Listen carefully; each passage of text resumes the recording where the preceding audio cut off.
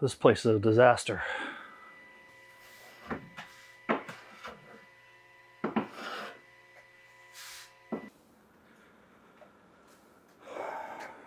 Sorry about all this.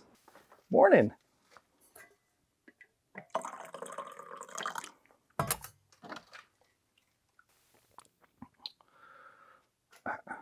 Thanks. I'll tell the guys to try to pick up after themselves. Oh, it's fine. I live for it. Sort of.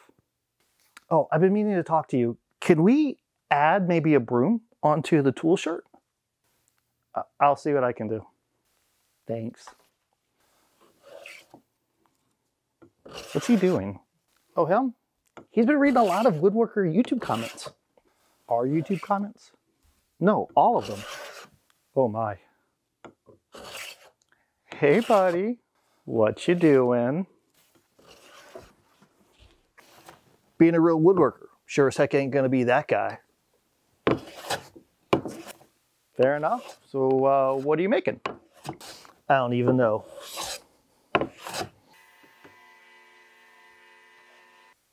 Uh-huh. Well, I'll leave you to it then.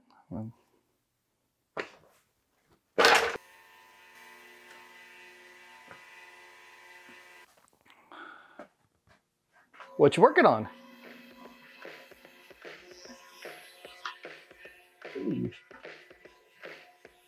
What? What are you working on? What? Hold on. Favorite part.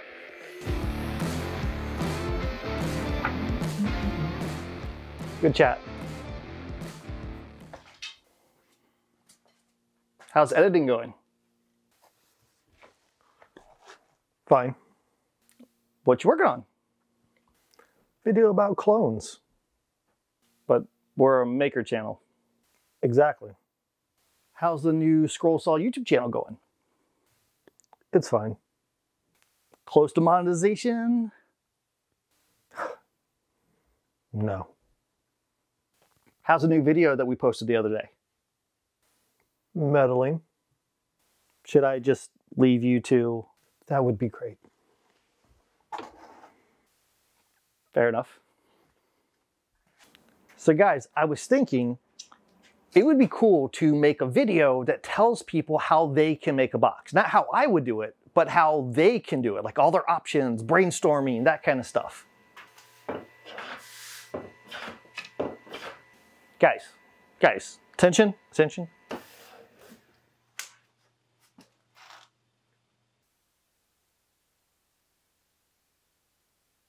You got any ideas? I got the brain trust here, you know.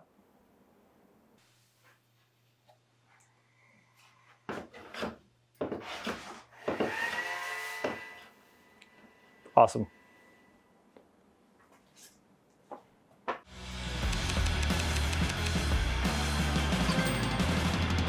What's up everyone? Welcome back to the shop. You know, there's a lot of videos out there that talk about how to make a box, and usually they show how to make a specific box that the person's making on that video. And I've got several videos like that. But I figured this one, let's talk about how you can design your own box. Some of the things you have to consider to make the box the way that you want it to be. It starts with brainstorming, which really helps out when people want to actually contribute. There are obviously thousands of ways to make a box, so we're not going to talk about all of them. But all boxes boil down to these fundamentals. You need to determine the dimensions, the shape of it, if there's any sort of functionality for it, the joinery, how you want to do the bottom, and how you're going to do the top. Now, I know that there's a lot of stuff of, well, what if we want to put feet on it, and the style of it, and, and trim, and all those things are important as far as brainstorming to come up with what you ultimately want to build. But you can't really even do those without these fundamentals. The order for coming up with those fundamentals really depends on what's driving you to make the box itself. So they can be put together in any order.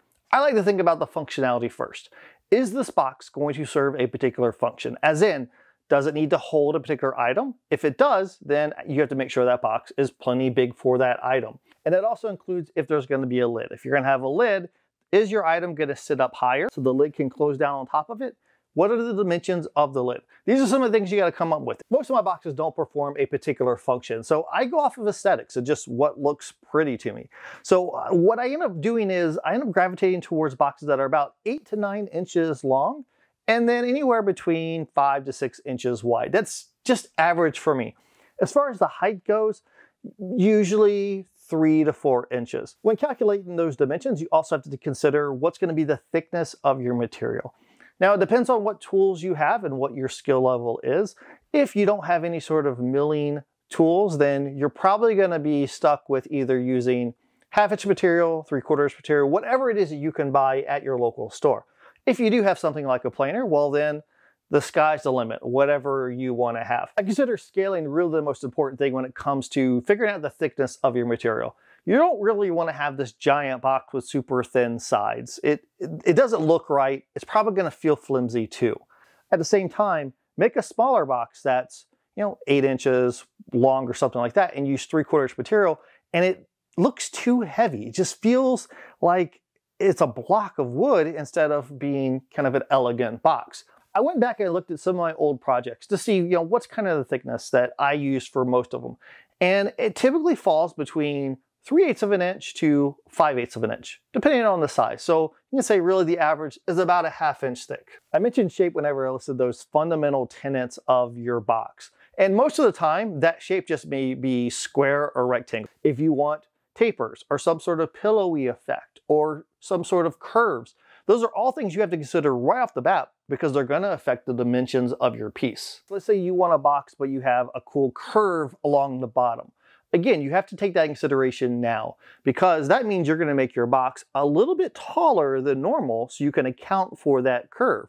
Joinery is super important for figuring out the design of your box but it may not be important for the same reasons that a lot of people will tell you about. We're gonna get into a controversial topic right here, so some people will probably not agree with me. I will pick the joinery based off what I think looks best for the box. I don't pick the joinery because of its strength. That means that I'll make a box and I don't necessarily have to have my miters reinforced with dowels and splines and a bunch of other things because it will fall apart. I look at it as it's a box. Okay, it's not supposed to hold a tank. It's a decorative box. Now, if your box is supposed to serve a particular function, like you're building a cabinet drawer, right? Well, that's really a box, right? Well, you have to put a lot of weight in it. You're gonna be open and closing it. It serves a function that is gonna impact your joinery. Uh, see, functionality, joinery, two of those tenets of building your boxes. The most common joints you're gonna see for making a box are gonna be miter joints, box joints, dovetails, and rabbets. There are a ton of different variations on joinery out there. There's a ton of videos. I've got a bunch of videos. Actually, I have a whole playlist devoted to making different joints. So you can always find out how you want to make that miter or how you want to do those dovetails.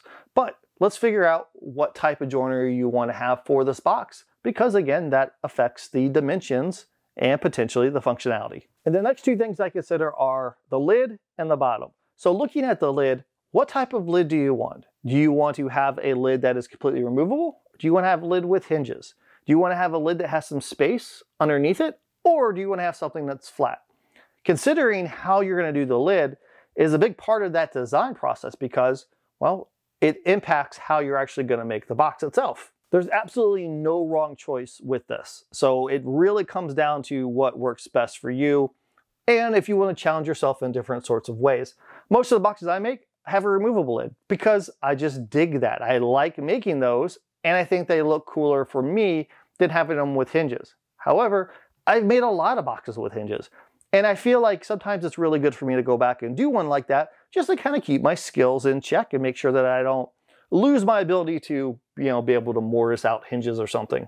And ultimately, you're going to figure out also things like, you know, how you want to construct a handle and that sort of thing. And again, that's part of the design process. But to me, it's kind of more of a latter phase. If I can't even figure out how I want the, the lid to be on the box itself, I'm not really going to think about a handle.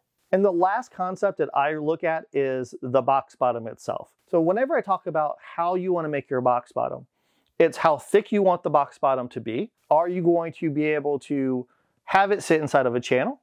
Or do you want to have rabbets so that it fits underneath it and then you maybe use screws or something to hold the box bottom into the box. I grabbed a bunch of different boxes that I made so we can take a look at those, look at those dimensions, look at those shapes, look at those fundamental tenets and see how they differ from box to box. I grabbed four different boxes and funny enough, I did not pick these because they're different. These four boxes were all sitting next to each other and they are fundamentally different. So this is gonna be a really good test to look at. So let's look at each one and talk about those fundamental tenets. So look at this box. Okay, as far as the dimensions go, I can see that it is a little over five and almost nine inches. And as far as the height goes, we are looking at about three and three quarters of an inch tall. So a little bit taller than some of my other boxes in comparison. I made sure that the lid was flush, but I also wanted to have a removable lid. And then not only is the lid removable, but then since these walls are flush, I had to make sure that I put something on the inside to keep the lid from just sliding right off, right? So that means you had to put a liner in there. And then the box bottom itself is captured inside it, and it's just a panel that's in a channel. For the joinery, I used regular miter joints, and then I put in some aluminum dowels here in the corners. Now, the only reason why I did those is because I made a cool aluminum dowel lid here. Otherwise, I might not even have done that. I might have just left miters because I think miters are plenty strong for something like a decorative box. With this box being about 5 by 9 let's look at the material thickness itself.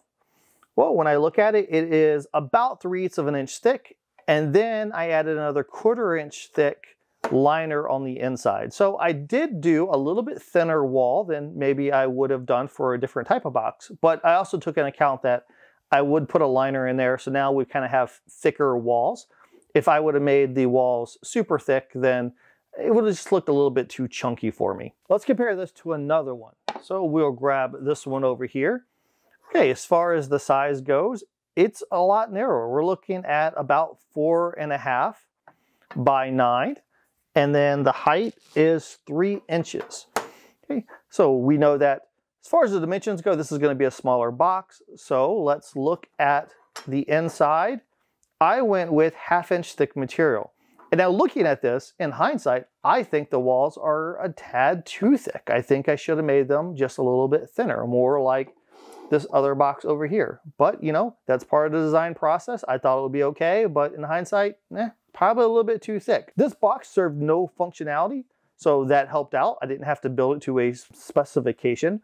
Now, I did want to have the lid not be removable. I wanted to have it on hinges, but I also wanted to have it smooth with the in the outside faces. So, put my hinges on there. I did a little bit of a liner, which I didn't necessarily have to do. With this one, you have to have a liner because the lid doesn't want to just slide off, right? Well, if you're doing hinges, I don't necessarily have to have a liner. It's not going to fall off because it has hinges. But, you know, I decided to put one in there just for decorative purposes. Again, I went with miter joints for the sides, but this time I reinforced them with splines. Didn't have to do that at all, but I wanted to coordinate with the, the lid that I made here. So I just used a complementary uh, color. And then the bottom, again, complementary color, just a panel that I encapsulated inside of a channel. Let's compare this to this other box here that is about the same size. As far as the dimensions go, you're looking at about five inches wide, about nine and a half long, and uh, a little over two and a half inches tall, so a little bit shorter. Now, when we talked about those fundamental tenets to building a box, functionality was not a key player to this because it was just going to be a decorative box. However, one of the big things I want to do with this one is I wanted to have the lid slide. So that's what drove this, is having the lid on the box in a particular way. So let's go off that one and then work from there. If I'm gonna have the lid slide out like this, I have to make sure that my thickness of my walls accounts for that. Because if I use super thin walls, then I won't be able to cut a channel on the inside faces of that for this lid to slide. So if I look at it, I went with half inch thick material. So while this box is about the same size as this one, and this one has half inch thick material, it looks a little bit chunky to me. However, it's because it's just one solid wall. It doesn't really serve a purpose. This one, the walls are the same thickness, but it has a purpose. It had to be that thick to allow the lid to slide the way it does. As far as the joinery goes, instead of doing miters, I did box joints. So just a really simple box joint. I like wide box joints. If you make them super thin, sometimes they're called finger joints, it's really the same thing. You can just decide on what you want to do, how you want to do them. The bottom, again, a panel that is encapsulated in it. However, knowing how you're going to do the joinery depends on how you're going to do that box bottom. Because I did a joint that is like this, not a miter joint, I couldn't just route a channel to allow my box bottom to fit into place. If I would have routed the channel all the way through, then you would have seen little notches on the ends whenever I cut those. And that's not what you want to have. So because of those, I had to take it over to the router table and do a plunge cut. So plunge it down, route out the bottom, lift it up so that I don't have any entrance and exit points to hold our box bottom. So I had to make it a little bit different. However, I still use a solid panel inside of a channel. For this one, and this one, and this one, what was the shape? Well, it's all considered a square rectangle-ish shape. Let's look at this guy over here. Much different shape, right? Well, I mean, technically you could say that it is a rectangle. However, we do have some profiles here. We have a graceful curve around the sides. So let's look at the dimensions of this box. Well, counting the lid, you're looking at a little over six inches and almost nine inches. So a little bit different. The height, you're about four inches tall, not counting the handle. I wanted to have the lid be completely removable, so I took that in consideration. Now, while this lid was removable, you notice I did not do an interior liner. This one has a removable lid. I did do a liner. Again, you can pick what method best works best for you. In this case, I wanted to have curve, but I have the bottom here we have to take in consideration. So that means I had to make my sides a little bit bigger, a little bit you know taller than normal so that I could cut that curve so the box bottom will fit where it needs to fit into, but that adjusts the dimensions of it. Again, you have to figure out how you want to do those types of things. As far as the joinery goes, in this case, I did a basic rabbet joint. So really simple joinery, nothing crazy here. And I then added the feet here, which you don't really have to do, but by doing that, it does strengthen this out a bit because the foot overlaps the, the rabbets on all the corners, so it makes it a little bit stronger.